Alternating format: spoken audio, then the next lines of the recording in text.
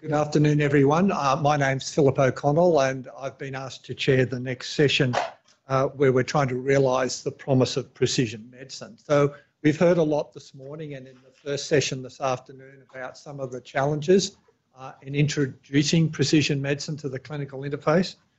Uh, but if we do overcome some of these and it does become a major part of the medical landscape as we hope for, there will be significant regulatory, social and ethical challenges that we have to consider and deal with uh, as we go forward. In some ways, this is not unusual and it's been challenges we've had uh, for a long time. For instance, um, I am a nephrologist by training and when they introduced dialysis, they used to have panels in the early 1960s that decided who would go on dialysis and who wouldn't, and that was a life and death decision. And there are a lot of these panels uh, especially in the US, to deal with this issue. So what we're dealing with now is not new, it's just in a new context. But we do have a very expert panel here uh, to discuss that. There's a Dr. Gareth Baynam, Professor Michelle Haber, Professor Margaret Otlowski, who's a, a lawyer, Professor Robyn Ward, and Professor Andrew Wilson. So I, after a brief introduction, I'll ask each of them to say a few words and then we'll open it up for discussion. Michelle Haber is the Executive Director of the Children's Cancer Institute at the University of New South Wales. Uh, her earlier studies were amongst the first characterising the complex molecular mechanisms underlying therapy-related drug re resistance, and she identified the relationship between high expression of multi-drug uh, transporter gene MRP1 and the malignant phenotype of neuroblastoma. Um, she subsequently established high throughput chemical screening of small molecule libraries and developed novel MRP1 uh, inhibitors. And she is one of the founders of the National Zero Childhood Cancer Personalised Medicine Program uh, and has developed molecular diagnostic platforms that have improved risk assessment um, and doubled the survival rates in children with acute lymphoblastic leukemia. And I note that that group recently just had a, publication uh, in Nature Medicine in some of their work. So, Michelle, handing it over to you for a few words. So, uh, together with the clinicians at the Kids Cancer Centre at the Children's Hospital, we at Children's Cancer Institute established the Zero Childhood Cancer Personalised Medicine Program to improve the outcomes for kids with the highest risk cancers. So Zero started as a, a, New South Wales pilot study of uh, just over 50 children and was then rolled out in 2017 as a national clinical trial for 400 children with high risk cancer, which is due to finish at the end of this year. And it involves all eight child cancer, uh, all eight Australian child cancer treatment centres. So each child's tumour from around the country comes to Children's Cancer Institute in order to have whole genome sequencing, whole transcriptome sequencing, and methylation profiling done on their tumour. And the results are then curated and fed back to a single national multidisciplinary tumour board. Zero then uses this very comprehensive molecular profiling to identify the molecular drivers of each child's cancer and then to match these molecular changes with the drugs which are most likely to target them. And of course, the aim is to identify an actionable, personalized treatment plan for each child within the clinically relevant time frame of under nine weeks.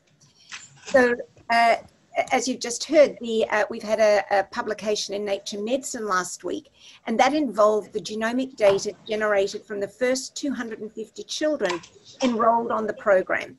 And there we were able to show that Zero identified the molecular genetic basis of a child's cancer in more than 90% of cases. It led to a change of diagnosis in over 5% of cases, and 70% of the children had at least one new potential treatment option identified based on their cancer's genetic makeup. For those children who had a personalized treatment recommendation and then actually received that therapy, in 30% of cases, the tumor shrank and in some patients completely regressed. And in another 40% of cases, the tumor stopped growing and stabilized. And so, if we remember that these are all high risk children with otherwise uh, completely unresponsive tumors and no other treatment options, These results, I think, are quite remarkable. And in addition, germline cancer predisposition findings were identified in over 16% of patients, which is double the previously published level. So on the basis of these results, we've now been funded by MRFF to roll out zero to all 1,000 children and young people diagnosed with cancer every year in Australia by 2023, not just the high risk patient. So Zero offers a changed model of care for children with cancer and can inform patient diagnosis, identify new potential treatment options, and identify families who may be at higher risk of developing additional cancers. So there's clearly enormous benefit from this information, but this doesn't come without considerable challenges in terms of embedding precision medicine in the health system, particularly now as we prepare for the expansion of zero, the Zero program. So given the focus of this session, my key question is, how do we ensure the, accept, the acceptable and equitable implementation of precision medicine? In terms of cancer risk, prevention and early diagnosis, precision medicine is providing unique opportunities to introduce new models of care and surveillance programs to drive cancer control and ultimately prevention. But this is putting pressure on already overburdened and often ill-equipped familial cancer clinics leading to risk of inequitable care, risk to patient privacy, potential discrimination, and ethical challenges to the rights of family members. So how do we manage these risks? In terms of cost effectiveness, which was touched on previously, there have been relative, relatively substantial cost effectiveness assessments of precision medicine in the rare disease clinic, clinical genetics domain over the last three to five years but there have been no such assessments in the child cancer precision medicine domain. And yet it's critical that we understand the costs and socioeconomic consequences if we're to make acceptable and equitable decisions about who has access to precision medicine and when. Then there are the challenges in terms of equity of access. How do we overcome the challenges, which some of which have already been spoken about, of geographical isolation, language barriers, or different cultural beliefs, and ensure that precision medicine is extended to Aboriginal and Torres Strait Islanders, to remote and rural populations, or to culturally diverse communities.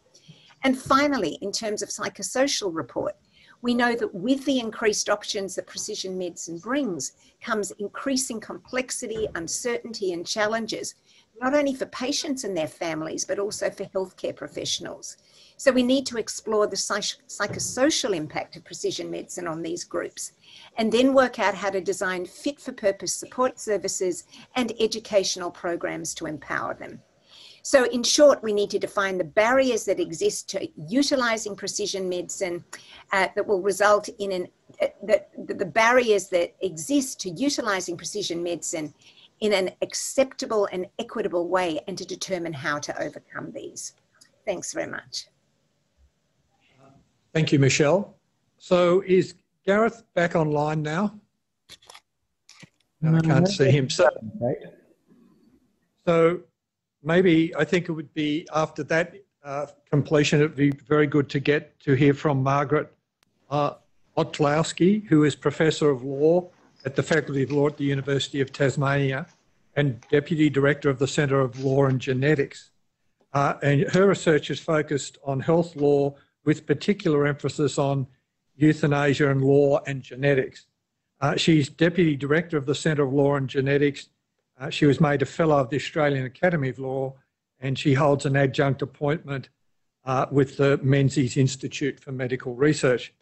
So Margaret's areas of research include end-of-life issues, family law, aspects of law and genetics, especially genetic discrimination, consent and privacy, biobanking and personalised medicine, and regulatory issues. Uh, and she's really focused on the interface of law, genetics, ethics, uh, with a strong law reform focus. So Margaret, uh, we'd be very keen, I think, after that talk to hear what you have to say. Yes, uh, thank you, and also for the opportunity to participate. I'm delighted to to have the opportunity. I think um, it's pretty well recognised that ethical, legal, and social issues do have a really central role to play in realising the promise of precision medicine. This is recognised even in the National Health Genomics Policy Framework. And with a view to kind of minimising the risk and enabling maximisation of benefits and also fostering the all important trust in sharing um, of genomic information, which we've heard is so important. There are a number of particular aspects of precision medicine which have created um, special challenges. Uh, the proliferation in the volume of data available, the imperative that we've heard about of data sharing and, and, data linkage, and added to that, the identifiability of genomic data. And with big data analytics um, capacity, it makes it actually um, virtually impossible to promise anonymity, even if identifiers are removed. So the combined effect of these factors increases the risk of, of privacy breaches. So against that background, there are many potential issues, but the ones I wanted to highlight are firstly the managing of incidental findings in both clinical and research contexts. And with the massive amount of information generated by precision medicine, this is indeed a challenge. And there's no national consensus at present as to what constitutes best practice um, in circumstances where clinically relevant information might um, arise um, through analysis, but which hasn't been sought out. So decisions end up being left to individual laboratories or clinical geneticists um, or, or researchers. So here I would call for greater consistency in approach so that all parties um, affected have a better understanding of their rights and responsibilities. Uh, a related issue is reanalysis and recontact in circumstances where variants which were initially deemed to be of unknown significance uh, become um, awareness is that they are clinically relevant um, as more information is gathered. And here too there, there is no agreed position either for clinical or research contexts as to the extent of responsibility to reanalyze and um, uh, recontact and update. And this can lead to inconsistencies in information provision and outcomes. So I think there's real opportunity here as well for, for greater guidance for, in both clinical and research contexts, recognising differences between those areas as well. Uh, and the, the final point I, um, or issue I'd like to identify relates to managing genomic data and really focusing on the fact that we've got in an unprecedented um, scale data being processed, analysed and stored. And this raises questions about how do we effectively manage this data in a manner that facilitates trust and sharing, which is all important, but also acknowledges the risks involved with large databases and extensive sharing and does enough to protect privacy um, interests of individuals and their families. So here I think there's scope for more attention to um, consent processes so people really understand risks and benefits of participation. Uh, and, and particularly where consent is sought in a clinical context for participation in research, that that's done explicitly and clearly and separately, but also attention to governance arrangements, um, including regulation of data access, and a, a more open acknowledgement that de-identification of data is not a complete solution. Uh, that we need to be really cautious about giving assurances to people about retaining patient anonymity and privacy when in fact that's not something we can absolutely guarantee. Thank you. Okay. Um, I would note this is going to be a very interesting session because we're getting bombarded by questions on the chat function. So the audience is getting agitated in a very positive way. So I would now like to pass on to uh, Robyn Ward. Professor Ward, she's the Executive Dean and Pro Vice Chancellor of Medicine and Health Faculty uh, at the University of Sydney. She's previously held senior positions at the University of New South Wales and University of Queensland and was formerly director of the Comprehensive Cancer Centre at the Prince of Wales Hospital. Um, she, her, her, contributions to medical research uh, have been acknowledged by her position at the Commonwealth Health Minister's Award for Excellence uh, for Health and Medical Research in 2004. Um, and uh, she's also, she's currently on the Commonwealth Medical Services Advisory Committee. And, and I do note to this topic that Robyn did write a review in the Medical Journal of Australia saying precision medicine uh, in oncology uh, is the honeymoon over. So I'm sure she's got a lot of important things to say and a lot of insightful things to say as we try and progress this um, into more traditional medical care. Over to you, Robyn. Thanks very much, Phil. Um, so this, um, my little talk here will probably take a slightly different um, focus than the previous speakers. Um, so I'm going to speak from the point of view of, of the chair of the Medical Services Advisory Committee. Um, that's a committee that's not responsible for regulation, it's responsible for making recommendations to the Health Minister regarding reimbursement. Um, that's the use of taxpayers' money to fund uh, services, tests, gene therapies. Um, so anything that isn't um, a pharmaceutical, which Andrew Wilson will talk about in the next session. So the topic of genomics, gene therapy and precision medicine is certainly something that is very much um, a topic of uh, regular um, meetings of, of MSAC. And essentially the way the um, health technology assessment committees, there are two in Australia, as I say, MSAC and PBAC, are configured. They're designed to look at the clinical utility of um, new interventions and existing interventions. And by that, I mean look at whether these new interventions have an impact on health outcomes. Um, and that's traditionally whether someone lives longer or lives better. Uh, the evidence base supporting the claim that there's an improvement in health, health outcomes, how much it costs to deliver that health outcome, which is cost effectiveness. And many people have spoken about cost effectiveness or alluded to it today, and the total budget impact of that investment. And I think one of the things that precision medicine and genomics and gene therapy and all the things we've been talking about today are beginning to challenge us in the way we actually look at this idea of cost effectiveness, clinical utility, and budget impact. So there are four challenges that I just wanted to touch on. Uh, the first one is new concepts of value. So I think, as I've said, we're all very familiar with the fact that something, a new treatment saves our lives or improves our quality of life. But increasingly, uh, the concept of a health value is being expanded into things like diminishing diagnostic odysseys, the value of naming a condition. So, just being able to um, label a condition so that you um, can identify, therefore, groups of people who have a particular uh, disease and therefore uh, undertake research and, and hopefully identify new treatments or new ways of managing the disease. So, there's a value in in naming a condition. Values in knowing with greater certainty. So we might have a series of tests that say, well, we've got a 70% probability of, of disease X, but if we have a genomics test on top of that, that probability might be 95%. So that's that has a value associated with it. So these ideas of what is health value has begun to change. Um, includes things like family planning options. You know, the whole family could now be better in a better position to work out um, what their family choices are going to be. So they're concepts of values that have been around for a long time, but are becoming codified in the um, into the health technology assessment arena now as things that people wish to pay for um, with taxpayers' dollars. So that's the first challenge, challenge of new concepts of values. The second con- challenge I wanted to bring up was the beneficiary of genomics and testing.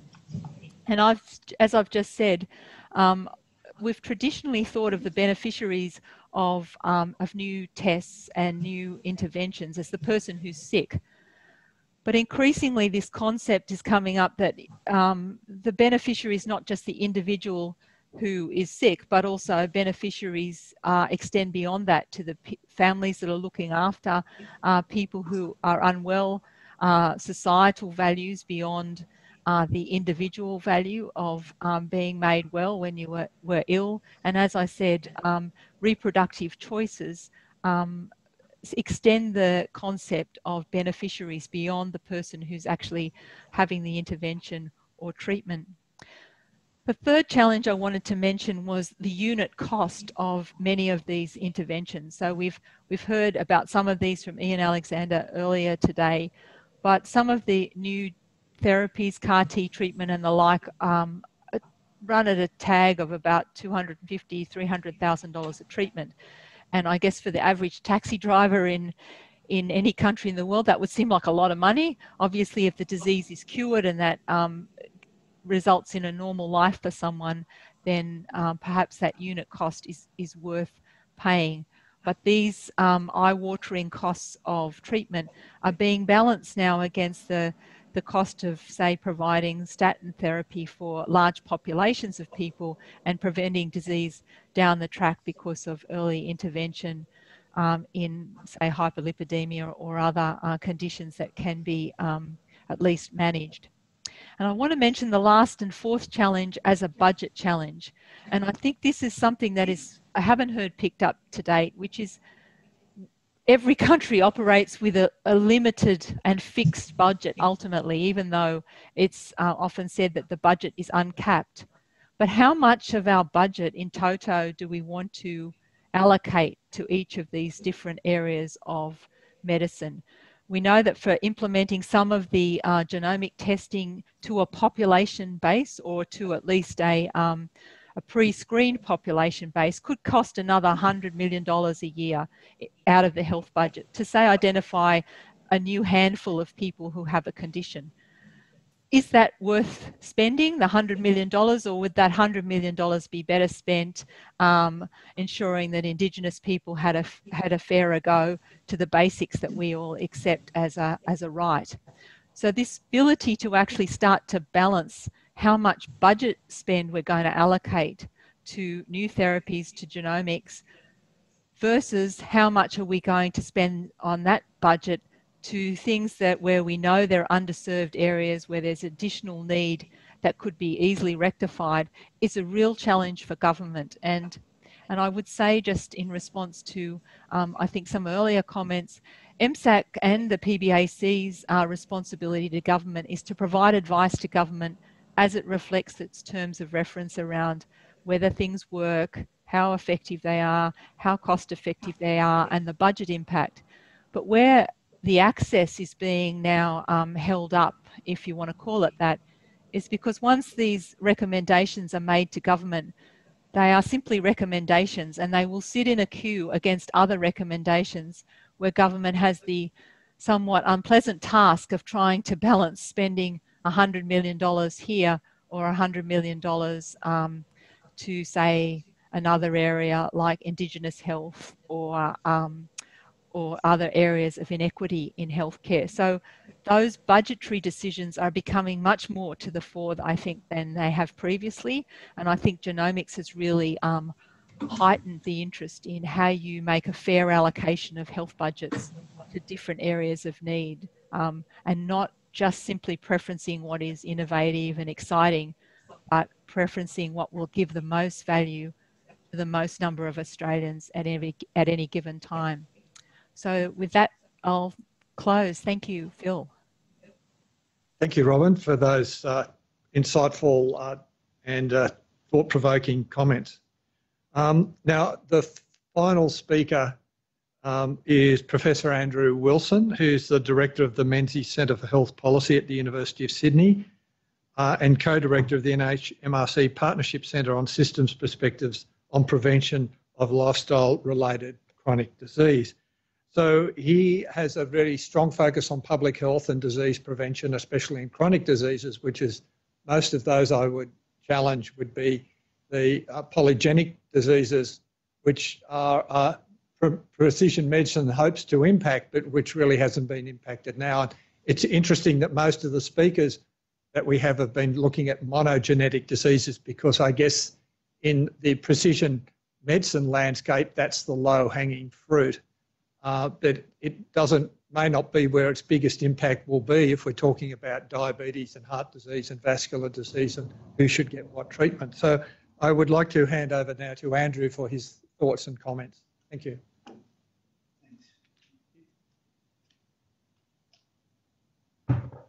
So thanks, and uh, and I'd be very happy to talk about all of those things. And in fact, I would probably be more comfortable in tomorrow's session on prevention, talking about pre precision prevention.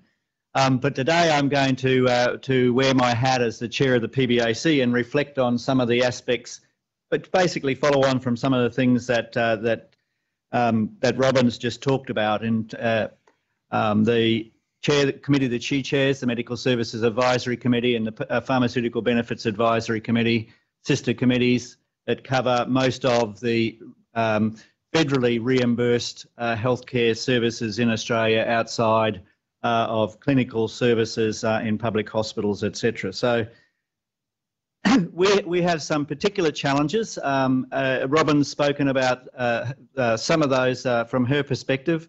Before I sort of forget of it, I, I just want to mention in terms of her last one where she talked about the financial impact. One of the other financial impacts that we're going to have to think about when we're talking about genetic therapies in particular is that you pay up front. So one of the things that you're seeing here is we're seeing quite large amounts being asked for uh, the therapies which are available, which in previous times would have been, if you like, amortized over a longer period of time. And that's something which has a whole range of challenges in itself, not the least of which is um, we don't know whether there's a cure at the moment, even though we're paying for the, you know, we will pay for these therapies. We won't know how long that cure will last, uh, which is one aspect of that.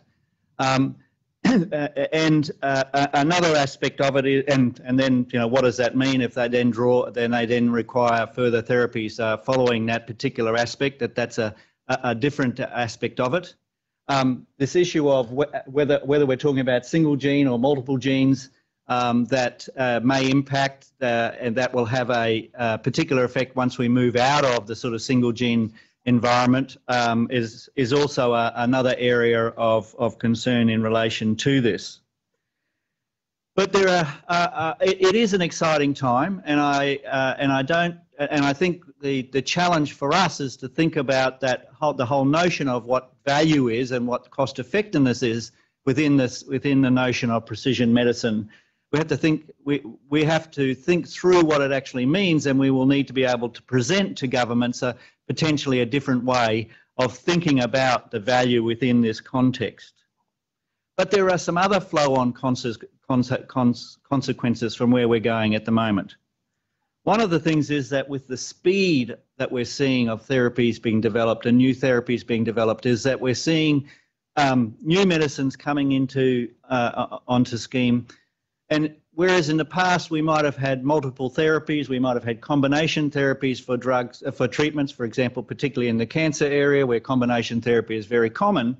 In the past, what we've seen is that in general, the medicines that we've been combining have been uh, have been medicines which have been off patent, therefore low cost. What we're now seeing is more and more situations where the combinations that people are seeking to use are combinations of on patent uh, on patent medicines.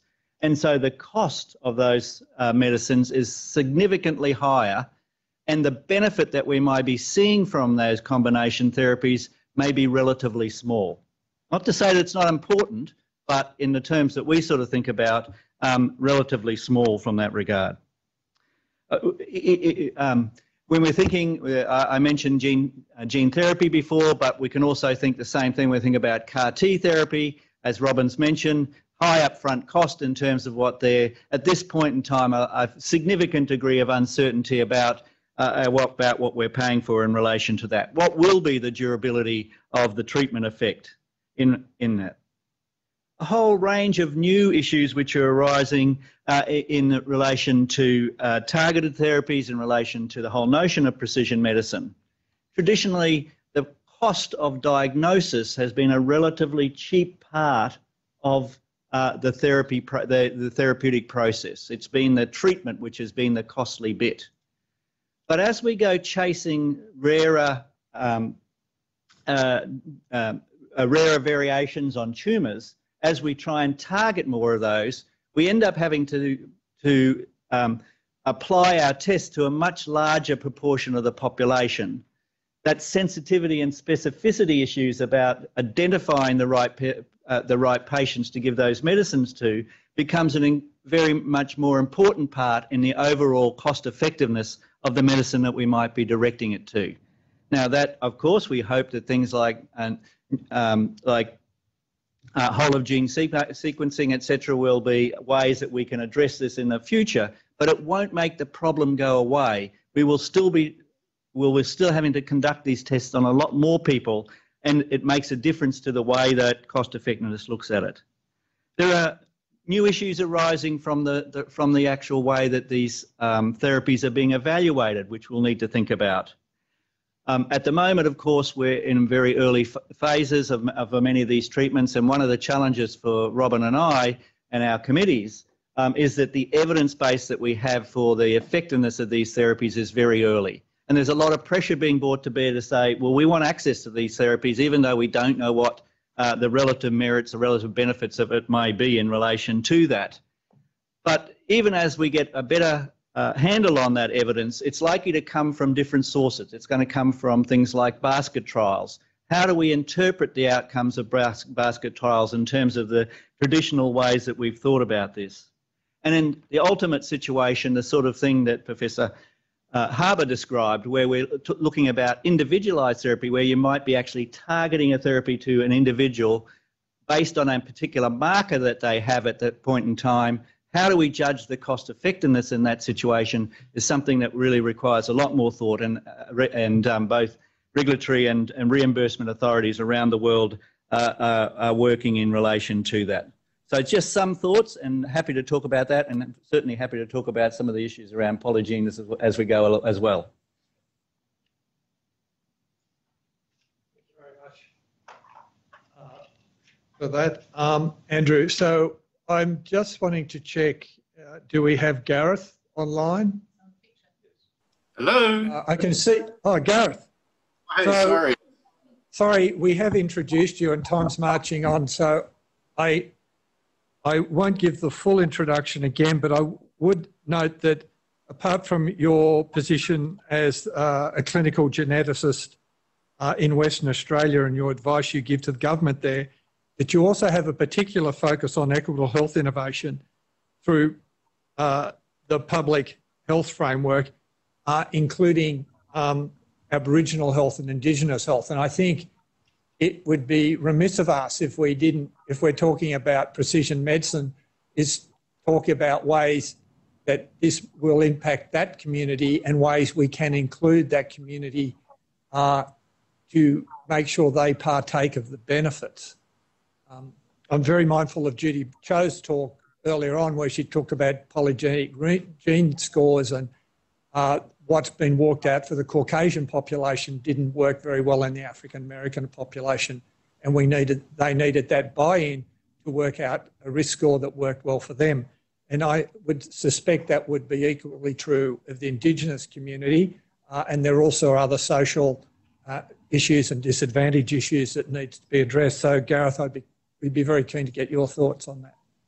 Uh, thanks, and my, my apologies. I was talking to a um, an Aboriginal mother of the child with a rare disease, and, and it's quite uh, quite a devastating story. But we don't have time to go through that. Um, the, um, I thought I'd just maybe I'll share my screen. Um, stop speaking around. I'm going to turn off. My, sorry, my computer. Uh, I'm going to talk you through what you can't see. Uh, so really, until the computer fixes it. So perhaps this is the digital divide in action. Um, so, so really, what I want to talk to you about is, you know, how do we get from the n of one to the n of many?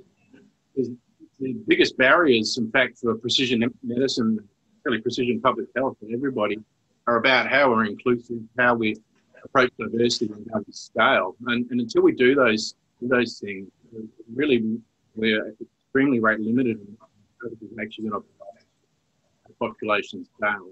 We need to move from uh, the concept of precision medicine into precision public health. Um, in fact, a concept that was uh, termed in Australia by the former Assistant Director General of Health in the, in the Mantra, really about how you bring the ancient, old, and new technology data together serve the most and the most we need. Um, and really, if we want to talk about ancient, uh, ancient, talk about ancient technology, then there is no better place to think about that than Australia because we have at least 60,000 years of ancient technology to learn on, uh, learn from, and and, uh, and and draw and draw from. And the thing that ties this all together really is language. In the, in the end, language is culture. Language is how we communicate. Um, and language threaded through precision medicine, be it the be it the, the, the, four little chemical letters that make up our genetic code, our DNA language, be it our phenotypic languages, our shared stories, how disease manifests, um, the precision, the, the, the, uh, the, the lingua franca of precision medicine, and human phenotype ontology. If you haven't heard of the human phenotype ontology, it is the thing that is pulling together all the threads of precision medicine, making it both accessible, equitable, and scalable. It's about how you join all these new technologies together and weave them together with the, the, the, uh, the stories of people, their families, their communities, and their health, and their health journey. Um, really, the limits of, of, my language are the limits of my world, um, and so it's critical that we focus on these on these languages, how they come together, and how we overcome language barriers. Because still, in Indigenous health, language is probably the single biggest fundamental issue to to a, to a, to to with that in mind, uh, together with, um, as part of the United Nations Year of Indigenous Languages last year, we started a project to uh, translate Indigenous languages into medical terminologies across the globe. And we launched that in Australia, and now we run it through in Africa um, and in, in Europe, um, to, um, to uh, North America, China, and, and other areas where really we work together with youth, community, and elders to really uh, translate these medical together and get this intergenerational transfer of knowledge where the elders um, are invigorated by their culture being being uh, uh, transmitted, the youth are reconnected to their community, and we really build that around uh, a precision medicine frame, a precision medicine framework. And then there's the old. In 1657, William Harvey, the very famous the physician, said, "Well, if you really want to understand medicine and transform things, better go away and study rare diseases. And, you know, 2,500 years later, I think we're kind of cottoning on to that. I think that's that's uh, that's that that's fab- that's fabulous. Uh, um, there, there of the zebras amongst the horses. In fact, I think the horses are made up of a, of a flock of a flock of zebras, if, if you will. Really critical that we treasure, treasure our treasure our exceptions. And if we think about that from a broader societal point of view, if we think about things that shed insight, that bind communities together that, that intrigue people and that are valuable. Um, rarity really encapsulates all of those. It could be pink diamonds, it could be pink lakes, it could be high fashion, it could be high, it could be high performance. And in the end, it's about celebrating those um, and learning and learning and learning and learning. Equally, it's about how you flip things. So currently, things that have started in rare disease have provided solutions for all of us. One half of all new medicines come from rare diseases. One half. Um, we're currently um, discoveries in the rare disease field have translated to health for, to for all of us. And equally, we're now flipping our language paradigms to COVID education community members in remote Western Australia, in Ghana, in Mali, and, uh, and, uh, in, other countries. And that's how we move forward to the new. Um, how do we bring together the information, the knowledge, the stories, the phenotype across species um, to get insights from insights from man. The Monarch Initiative is a fabulous initiative that's connecting phenotypes and genotypes across species to give us insights, uh, um, and really is transforming transforming medicine. How do we think more broadly about our health? How do we how do we approach planetary health? Um, how do we how do we think about all the layers of our biosphere and our ecosystem that come together to truly Okay, Thank you, Gareth. Um, I think um, it, your, uh, it's a bit uh, fragmented, the voice carryover, so you might make sure you speak close to the microphone. Um, it, and I think it's more a technical issue than anything else. So now I would like to open this up uh, to the discussion. There's been a lot of questions come in, so we do have a lot of that. So first up, um, as the only in-person representative of the group, Andrew, I'd like to put you in the um, shark's den here.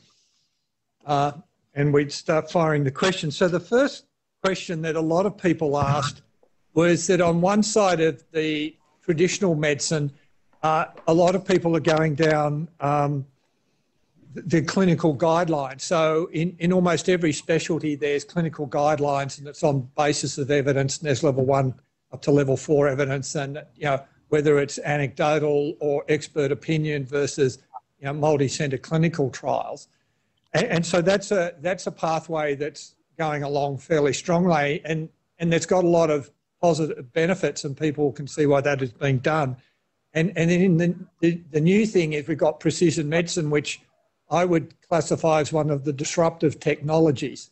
So it's actually sort of upsetting the way we normally do things uh, in a in, in a paradigm way. I would argue that the environment, even without precision medicine, is starting to fail in large scale clinical trials because of a lot of the first level drugs are already on board. But how do you think precision medicine, if it's going to impact clinical care, uh, like are we going to go from zero children, uh, a cancer initiative at the Prince of Wales and other centres, to being a whole of Australia, a way of dealing with children with cancer? How do we transition precision medicine from that to clinical guidelines, or how do we marry the two together? Michelle, have you thought about this? Uh, this engages our minds all the time. Um, this is very much, uh, you know, it started off as a research project. It is still a research project. Um, but in children's cancer, the paradigm is very much researchers' clinical care. Um, so that divide that we heard spoken about earlier, you know, how do we get more clinicians into um, research in children's cancer, and particularly now with this framework of precision medicine, you can't be delivering clinical care uh, outside of, well, you could choose to, but this has in fact changed the entire model of care for children's cancer. So this is happening in real time. And so the question is, you know, how, how does that, how do we then get the appropriate um, guidelines and regulations around that? And, and that was alluded to a little earlier in terms of, you know, uh, people wanting access to data and to treatments and we, uh, uh, uh, or to their own raw data or results. We don't have uh, the guidelines or the um, the regulations. So there's ambiguity around that. There's confusion around that, and I think it is going to need a whole of system approach to as it becomes clearer and clearer that these precision medicine paradigms can impact on clinical care, how do we, you know, what is the framework? Is it done by disease? Is it done for children's cancer, for example, or for each of these because the questions in some cases are different? Or is it a national approach across the board? Um, and I'd be very keen to hear what others think about that. Any other comments? I, I think one of the, the the key challenge is, is still siloing. And uh, what I mean by siloing is that precision medicine is obliterating and reaggregating medicine. And historically, we've worked within specialist lines, and we still need we need to. But in the end, genes don't care what you're trained in; they don't care what you're specialised in, and patients care even less. Um, and as we're unlocking the molecular causes of disease, we're finding that this traverses all the traditional bound all the traditional boundaries. And so, uh, to be, I, I, think it's a time for a rebuild of medicine, um, and uh, and particularly, I think it's a particular opportunity for generalists. Um, and I think in this in this new re- rebuild of medicine, that those that have multi-organ, multi-system generalist approaches and expertise will be in, in great demand and will be greatly empowered. I can I uh, add Margaret, to that? You've got a comment. Yeah. Yes, Margaret. Uh, I think um, as part of that disruption, we've got to recognise the blurring of boundaries between clinical and research roles, and there, there is often multiple hat wearing, and they do sort of technically have discrete um, obligations um, and legal and ethical duties that attach to each. But of course, that becomes um, complex where you, you find this sort of intermingling and where um, research is, is in fact um, sort of interfacing so closely with clinical care. So I think it does involve a uh, sort of a a reinventing of what our expectations are of people working at working at that interface as part of um, the reimagining of um, yeah clinical guidance in this area. Could, could so, I just? Um, yes, Sorry, yes, Michelle. I was just going to come back with one comment that I think that one of the ways in which we, we can get to where we need to get, and I think that will be fundamental, is really by co design at the grassroots level of uh, the approach to this that is going to, and we're doing this with Zero, where in terms of rolling out this program nationally to the country, we have um, actually MRFF has required us to have a stakeholder engagement plan and a community support plan where we bring in all of the elements, um, the, the families, the doctors, the healthcare providers, the health um, uh, delivery uh, folks, and that we all have to address this as a co-design process from the beginning, very early on. I think that's the only way that we're going to get there as we move forward. I think Robyn had. Yeah, so just interestingly, uh, we've had a lot of people uh, bring in questions around the issue. A lot of speakers have talked about rare diseases, but actually, as we genetically dissect even some of our most common diseases. We're rewriting disease taxonomy and they're, they're getting smaller and smaller. And perhaps that term has reached its use by date and people are advocating unmet clinical need as more an appropriate term. So you may have breast cancer and that there are subtypes of breast cancer uh, that do remarkably well and that there are others do poorly. And it's in that group that do poorly where we have an unmet clinical need uh, that may need pursuit and looking for alternative therapy. So people were have brought that up. Do you think uh, we ought to reorganise how we think about this as, as precision medicine expands out of the monogenetic diseases or single gene mutations for more polygenic diseases?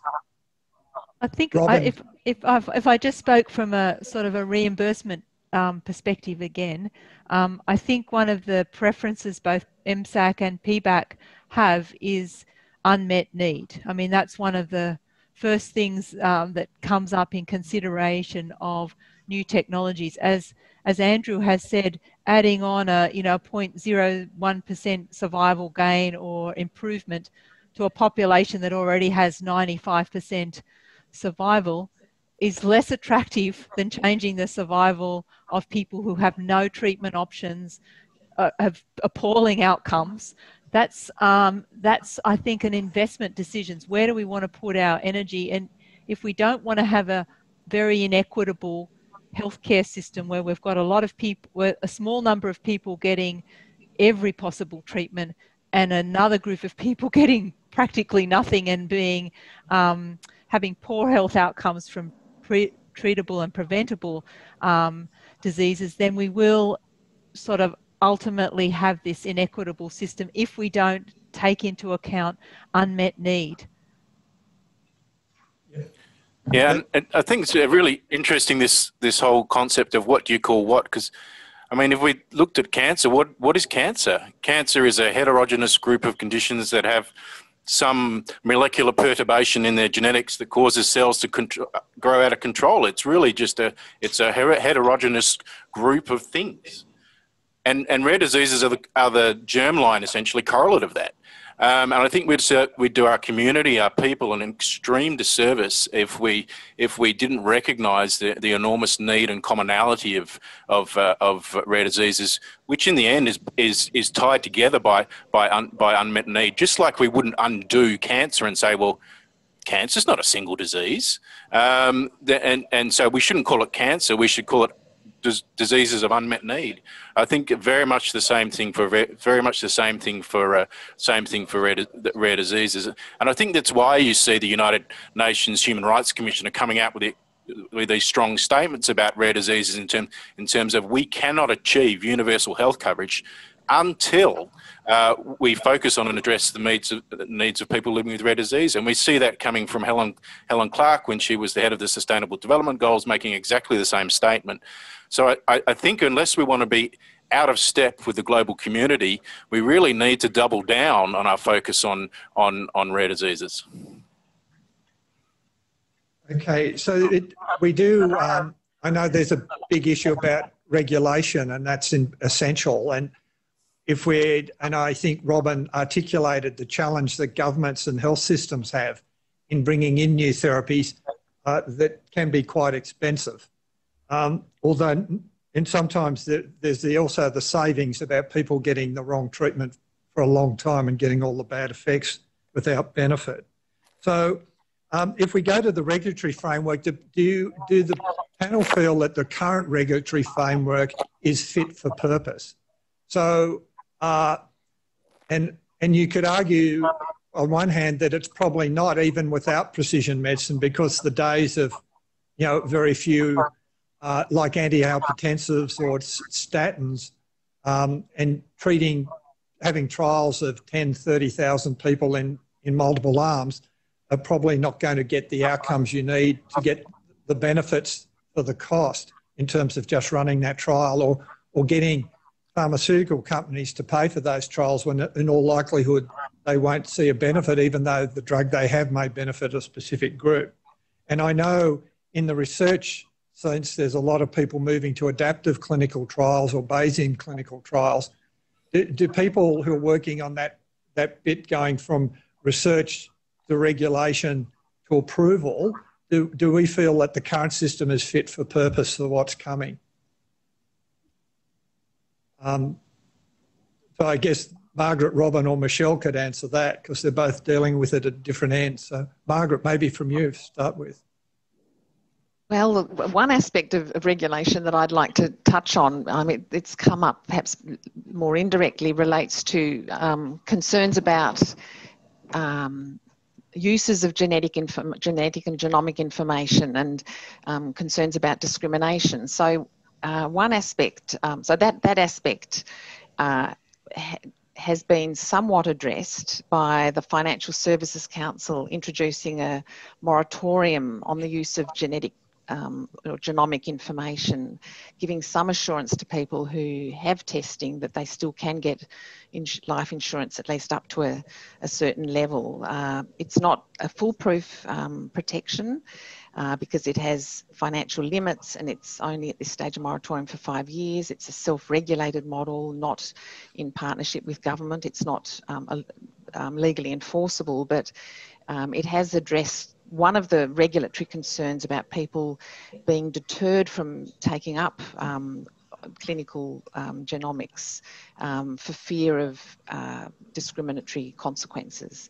So that's one aspect that I can perhaps comment on. Thank you.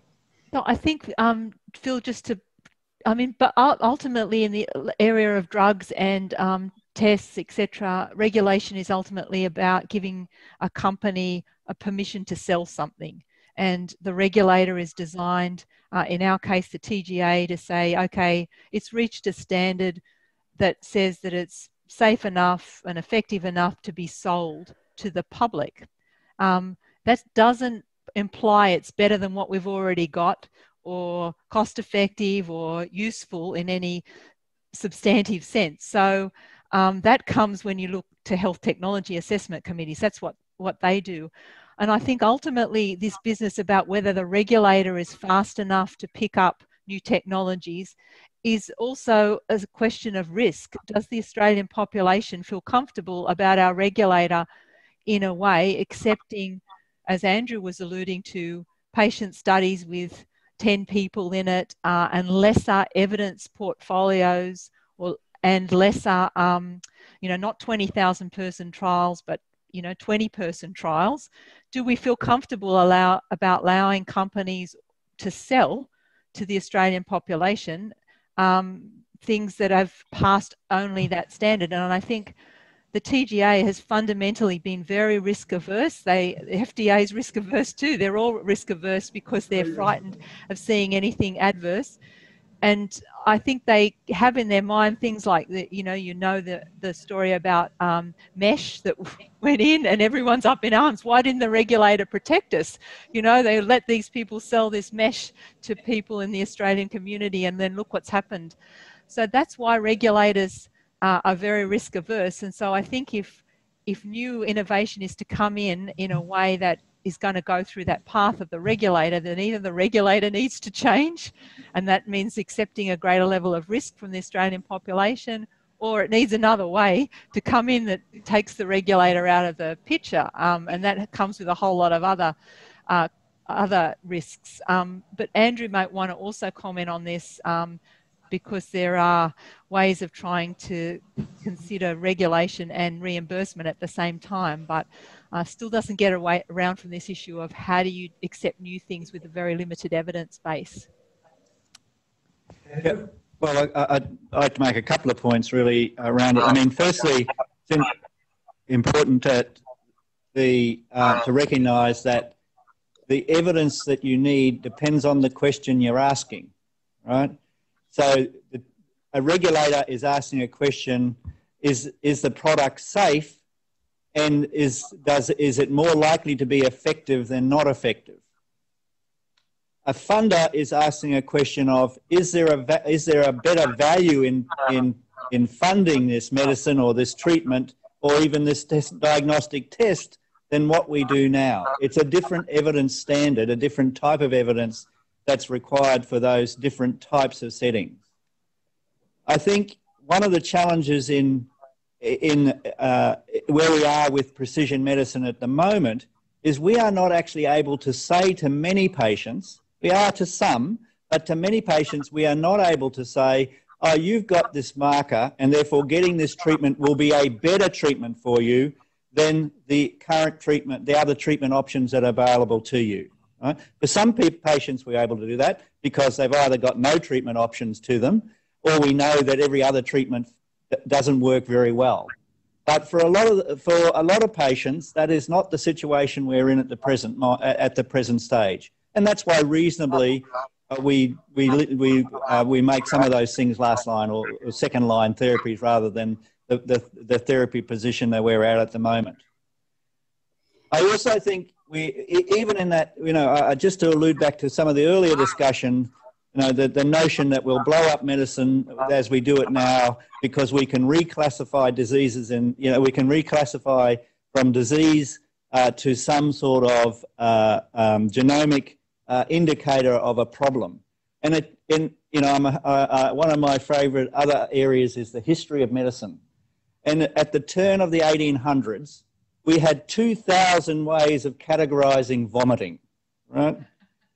Why did people move away from that? Because it actually wasn't a useful way to direct therapy to actually get people into, into treatments. So I think we just need to be a little bit cautious when we go down this pathway and start to talk about, you know, a, a process of blowing up medicines, the whole way we categorize medicine, we categorize diseases, diseases now, to ensure, to ensure that we're putting in place is actually informative in terms of what we're trying to do, which is advise patients about the best thing that best way that they can uh, we can deal with their, their their problems. So one area about there's two things about that I, I know because in our field in transplantation we do a lot with the FDA and if you've got an orphan um, an orphan indication that they will allow a provisional approval and then collect post-marketing data. So I think the one thing about data which we can get better is that we can do that and there are drugs like IVIG that are being approved now based on real world data because they know they can't do a clinical trial. So there are other there are other information out there that didn't exist for us. So it and it brings up two things about this. One is on the side of the data, and there's a lot of data. So sitting behind me here at Royal Prince Alfred Hospital is a mass of clinical data that could be used for bettering patient outcomes, uh, ex- except a we're not organised to get it and we haven't got patient consent and there's the real right need for patient to the privacy to their healthcare data. So it, it one side we've got the challenge of ethically accessing data but the other thing is actually talking to patients. So and what primed me for this was Ian Hickie's question commenting that as, as patients with depression in australia are very keen to join these studies and in the genomics uh, for depression study, they've had 20,000 Australians sign up and more signing up every day. So it's not, there's not a, a reluctance on the side of a large, of a large segment of the community to be involved. And, and then also, I know that a lot of regulatory authorities are now bringing in patient reported outcomes.